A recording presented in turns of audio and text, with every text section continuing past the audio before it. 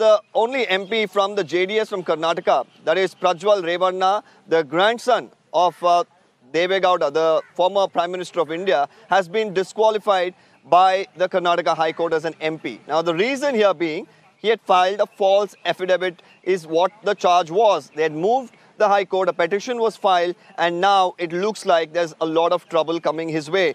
Now, this comes after a complaint was filed by Hassan Bey's lawyer with the State Election Commission alleging that Prajwal Revanna had concealed his property details and even submitted a false affidavit during the nomination submission. Now, more importantly here, the then BJP candidate from Hassan, A. Manju, also brought this to the notice of the courts. Interestingly here, he later joined the JDS just before the Karnataka Assembly elections in May and won polls from the Arkalgud Assembly constituency.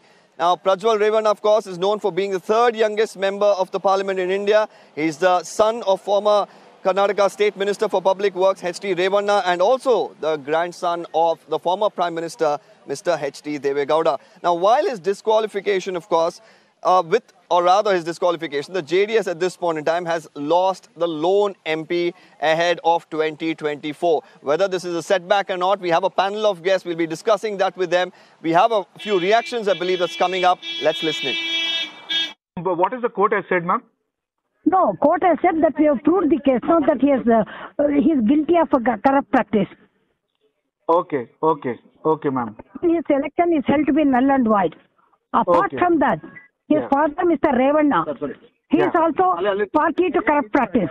Hence, Okay. notice is issued to him also. Okay, ma'am. Now, to, to make him also, his election will also go. Yeah. Okay. And then A. Manju, who was the petition in the other case, now he is the JDS candidate. He is Yeah. an MLA now.